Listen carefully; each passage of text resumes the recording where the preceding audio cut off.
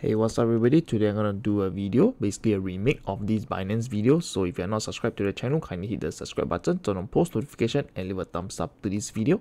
So for whoever is new onto this uh, my channel, I basically have a Discord channel which I do like uh, giveaways and after that from there like a small community from time to time people can start chatting over there and after from there exchange information and of course uh, learn together and of course grow together as well.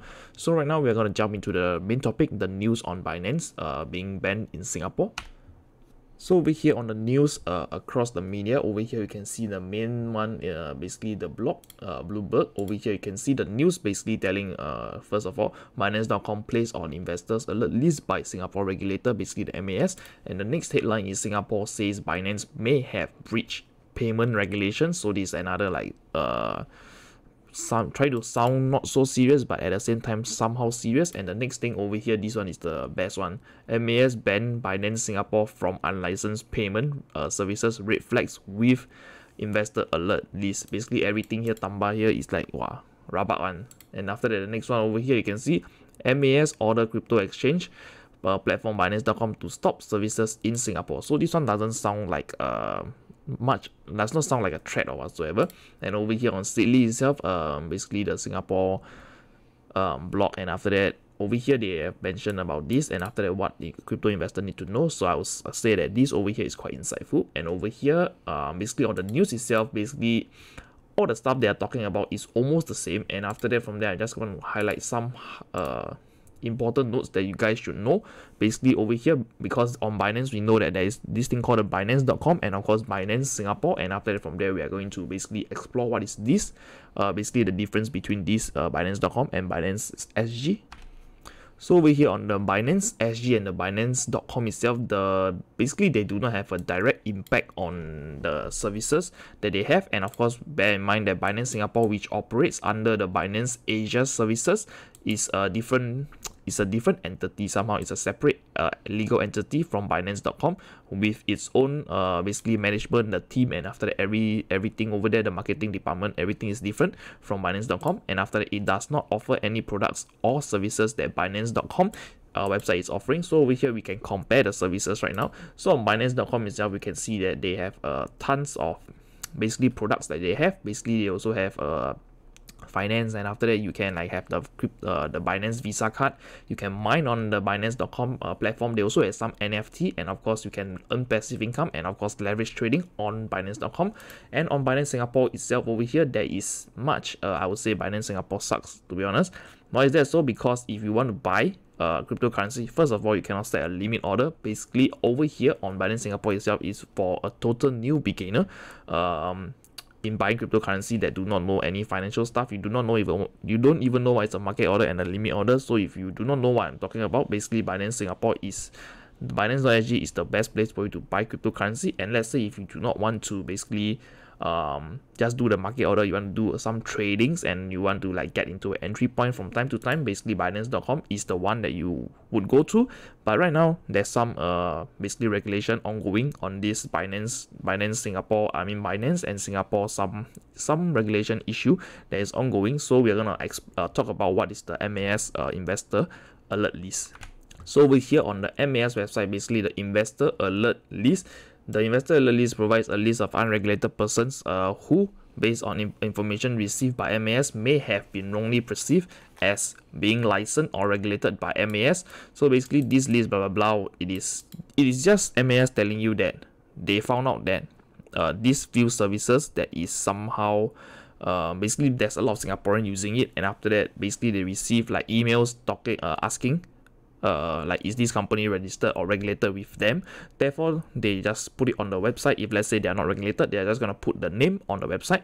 And after that from there it is to from my ex, uh, from my opinion itself it's just telling you that uh, use it at your own risk because it's unregulated. So yeah they are not really technically not saying that you can't use it or you must not use it or let's say they did not really ban the IP address on it. So we're gonna talk more about it So over here, we are going to talk about the alternative towards Binance.com uh, or let's say Binance Singapore. If let's say you do not like the interface of Binance Singapore, first of all, the alternative that is uh, almost same as Binance Singapore is basically CoinHako. And of course, many people say CoinHako sucks. Why is that? So because you can't withdraw the currency. Some of the currency out there they are offering, you can't withdraw it or deposit. Therefore, you only can purely trade on it. And of course, on the CoinHako, you cannot even do a limit order.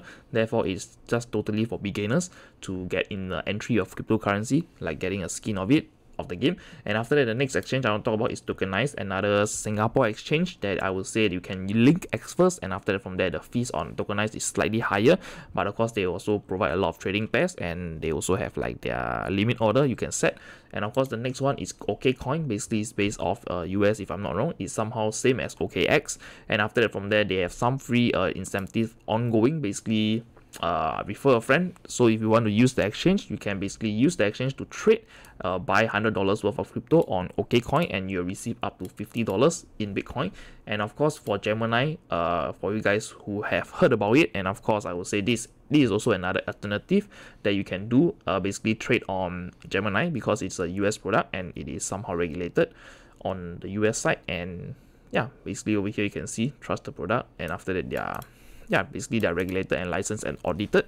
So I would say if you want to uh, know like which is the best exchange, I would say that I recommend. I would say Gemini, if not um, basically CoinHako. And after that, Tokenize, if let's say you do not want to use CoinHako and you want something Singapore, I would say that yeah, the Singaporean uh, style is like Tokenize. If not CoinHako, if not Gemini, and after that, lastly the OKX with the referral program and after that right now we're going to talk about my personal uh basically personal opinion about binance and is it really banned? So for example if let's say you're uh, the country is really want uh, really wanting to ban these services or let's say this website what would they do? Basically on the internet provider itself they're going to block off the website. And after that from there you can see right now it's not uh, Singapore has not totally banned or block off Binance access to the Binance.com. So if let's say Singapore really want to do it, they just head over to the network provider or the uh, or your internet provider. They just say, "Oh, do not let Singaporean access the Binance.com website." So first of all, I'm still able to access it, and I can basically head over to the peer-to-peer itself, and after that, from there, we can still see people selling and buying US Tether using the Singapore uh, services like Bank, PayLah, PayNow, Google Pay, and from there, there's uh, people still doing trades over here, and the merchants are still ongoing their trades and their activities as per normal.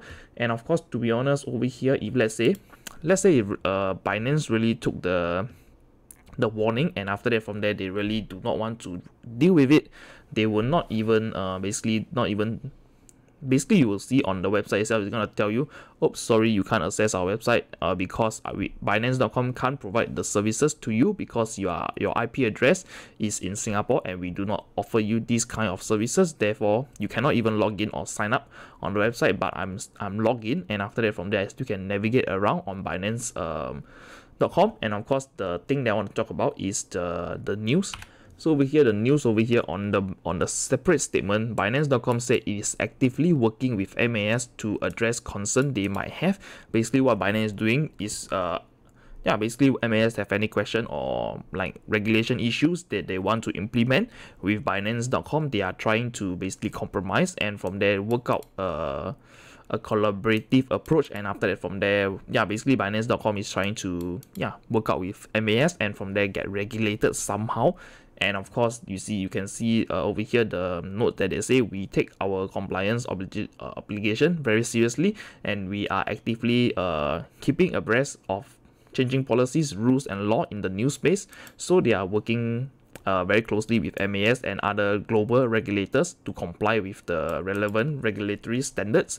The statement said basically Binance is trying to compromise, and after that, I would say that Singapore has not totally tell you to like has not banned hammering it because on some news they on the media as I already flashed throughout just now they say Singapore bans Binance and stuff like this but in my opinion they have not really banned it yet and I would say that right now it's just a, a warning and of course from there they are trying to work something out with Binance uh, basically Singapore and Binance they are trying to work something something out and to be honest why did this happen is because of the arising like crypto scams like rug and what whatsoever you want to know about on the Binance Smart Chain. And after that, over here they also provide provide a lot of uh basically financial products slash uh whatever you call it the traditional way. And after that over here there's too many product and after that it's too advanced. And of course i will say those people who are really new to the space that do not have even do not even have uh i would say what is that called? The investment knowledge they tend to come over here and they will click on whatever they can. And after that from there when they lose money and stuff like this what do they do?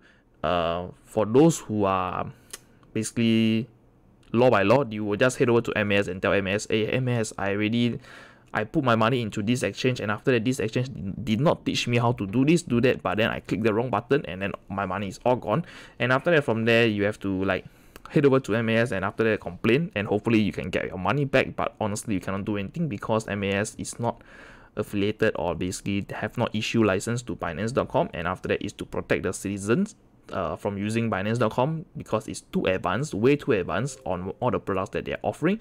And after that, right now, Binance Singapore is the most easiest uh, crypto exchange that you can enter. And of course, using CoinHako as well is very easy. So I would say that uh, my opinion is they have not totally banned off uh, Binance.com yet because I would say Binance is a very big exchange. They have the largest um, liquidity, and of course, if let's say Singapore intends to ban them, basically, first of all, they cannot get a tax, and of course, Binance Singapore is also using the same name, same brand, same logo, and after that, I would say um, they were not going to totally ban it off, but of course, set some. If let's say for Singaporeans, they are gonna like to be honest, if let's say Singapore already step in, the MSF step in, I would say all the products like leverage, uh, these options and stuff like this, basically you need to be accredited or basically have some uh knowledge of field or uh, some certificate to prove that you understand all of this before you can assess them. Therefore, this to protect the citizens. That that's what they say. And after that, over here, that yeah, basically this is what's gonna happen. And after that, the outro right now. So if you are using Binance or let's say interacting with any cryptocurrency um, platform like Ethereum on on on chain, basically you are using the Ethereum network to like interact with DeFi or whatsoever, you might have received some airdrops tokens. So how does the airdrop token works? Is basically like somehow a scam, and I would like to warn all of you guys to yeah basically have a look on the website that I've generated, I mean created it's called the airdropscams.com. You can head over there and from there you can read more about the blog uh, what is this airdrop scam all about. Uh, although this blog itself is talking about Binance Smart Chain um, mainly, but of course uh, on Binance Smart Chain is the same is the same concept of uh, basically like Ethereum and of course um, Polyscan basically Matic and I mean Polygon the Matic and after that um, yeah Solana as well. So these are the basically preventions that I want you to know about and after that from there you can share with your friends and family as well. So if you're not subscribed to the channel kindly hit the subscribe button turn on post notification and leave a thumbs up to this video. And of course I'm gonna see you on the next one. Bye bye peace